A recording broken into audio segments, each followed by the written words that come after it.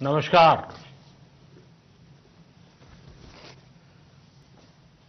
Corona वैश्विक महामारी के खिलाफ लड़ते लड़ते अब हम अनलॉक टू में प्रवेश कर रहे हैं। और हम उस मौसम में भी प्रवेश कर रहे हैं जहाँ सर्दी, जुकाम, खांसी, बुखार, ये सारे न जाने क्या क्या होता है। ये मामले बढ़ जाते हैं।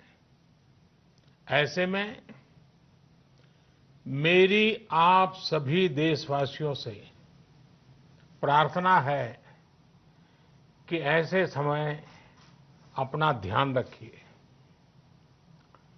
साथियों, ये बात सही है कि अगर कोरोना से होने वाली मृत्यु दर को देखें तो दुनिया के अनेक देशों की तुलना में भारत संभली हुई स्थिति में है। समय पर किए गए लॉकडाउन और अन्य फैसलों ने भारत में लाखों लोगों का जीवन बचाया है। लेकिन हम ये भी देख रहे हैं कि जब से देश में अनलॉक वन हुआ है, व्यक्तिगत और सामाजिक व्यवहार में लापरवाही जरा बढ़ती ही चली जा रही है। पहले हम मास्क को लेकर दो गज की दूरी को लेकर 20 सेकंड तक दिन में कई बार हाथ धोने को लेकर बहुत सतर्क थे। लेकिन आज जब हमें ज़्यादा सतर्कता की ज़रूरत है तो लापरवाही बढ़ना बहुत ही चिंता का कारण है। साथियों लॉकडाउन के दौरान बहुत गंभीरता से नियमों का पालन किया गया था। अब सरकारों को, स्थानीय निकाय की संस्थाओं को, देश के नागरिकों को फिर से उसी तरह की सतर्कता दिखाने की ज़रूरत है। विशेषकर कंटेनमेंट जोन्स उस पर तो हमें बहुत ध्यान देना होगा।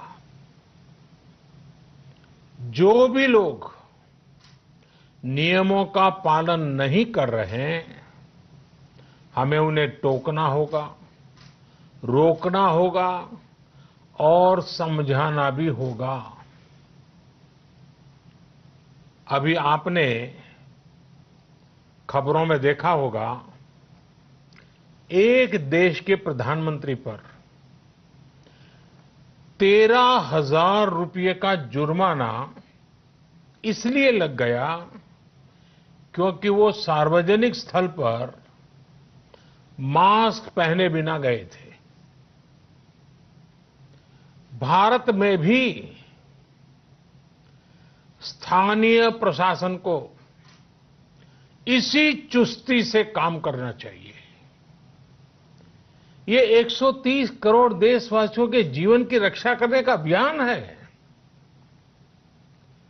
भारत में गाँव का प्रधान हो या देश का प्रधानमंत्री, कोई भी नियमों से ऊपर नहीं है। साथियों लॉकडाउन के दौरान देश की सर्वोच्च प्राथमिकता रही, ऐसी स्थिति न आए कि किसी गरीब के घर में चूल्हा न जले। केंद्र सरकार हो, राज्य सरकारें हो सिविल सोसाइटी के लोग हों, सभी ने पूरा प्रयास किया कि इतने बड़े देश में हमारा कोई गरीब भाई बहन भूखा न सोए। देश हो या व्यक्ति, समय पर फैसले लेने से, संवेदनशीलता से फैसले लेने से किसी भी संकट का मुकाबला करने की शक्ति अनेक गुना बढ़ जाती है। इसलिए लॉकडाउन होते ही सरकार, प्रधानमंत्री गरीब कल्याण